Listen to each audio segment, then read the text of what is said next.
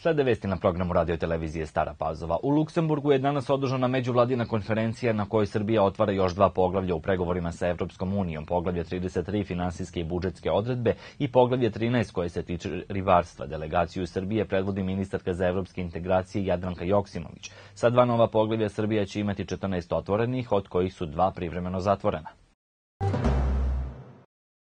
Privredna komora Srbije u okviru tematskog sastanka parlamenta privrednika Sremskog upravnog okruga uz podršku kompanije DHL International Beograd održala je u Staroj Pazovi edukativnu radionicu na temu internet trgovine, da posao klikne. Privredna komora Srbije istakla je da je online trgovina velika šansa za lokalna mala i srednja preduzeća, zbog čega je elektronska trgovina važna za mala i srednja preduzeća, kako da se pokrene online poslovanje koji su logistički lanci potrebni, kako da se preduzetnici predstave na globalnom tržištu, ali na koji način mogu da apliciraju za projekat Erasmus koji omogućava plaćane tromjesečne troškove boravka kod domaćina iz iste branše u zemljama Evropske unije samo su neka od pitanja o kojima se govorilo na ovom stručnom skupu.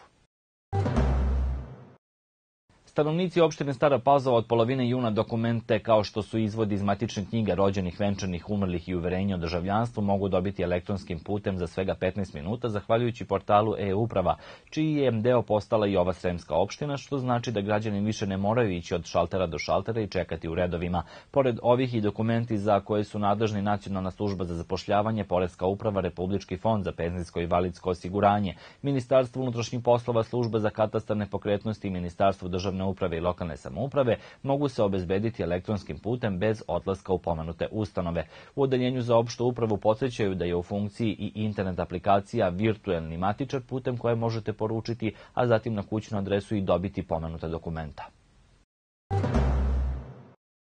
Na konferenciji sprovođenja evropskog procesa životne sredine i zdravlja u Srbiji rečeno je da svake godine u Srbiji umre oko 6000 ljudi usled komplikacija koje su izazvane respiratornim bolestima koje imaju veze sa kvalitetom vazduha. Konferenciju u Palati Srbije otvorio je ministar zaštite životne sredine Goran Trivan, koji je poručio da je životna sredina presudan faktor za zdravlje ljudi, te da vodeći računa o životnoj sredini, vodimo računa o zdravlju ljudi. Dodao je da su prioriteti ministarstva kvalitet vazduha, ali i pronalaženje opasnog otpada po Srbiji.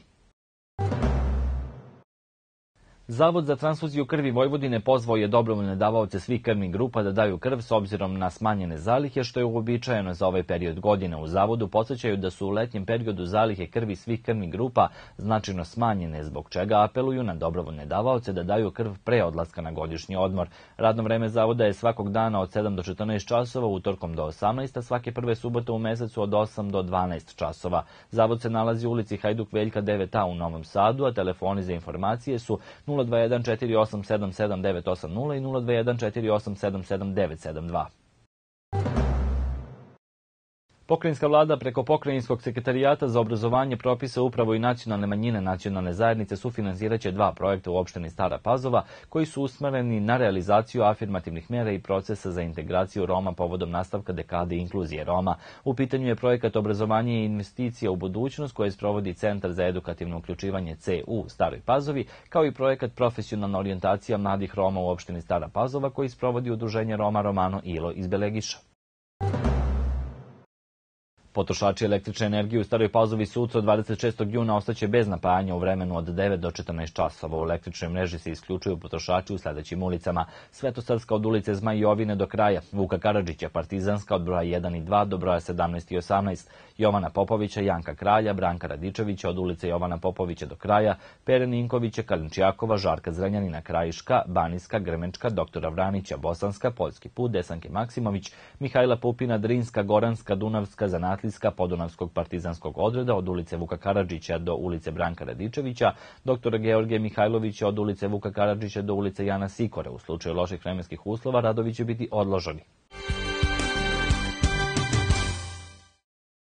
Gradonačelnik Novog Sada Miloš Vučević zajedno je sa članom Gradskog veća za sport i omladinu Ognjenom Cjetićaninom primio srpske basketaše koji su osvojili titulu prvaka sveta četvrti put u poslednjih pet godina. Reprezentacija u sastavu Dušan Bulut, Marko Savić, Dejan Majstorović i Stefan Stojačić u finalu prvenstva u Manili nadigrala je Holandiju rezultatom 16-12 i time je nastavila da drži primat u svetskom basketu već pet godina.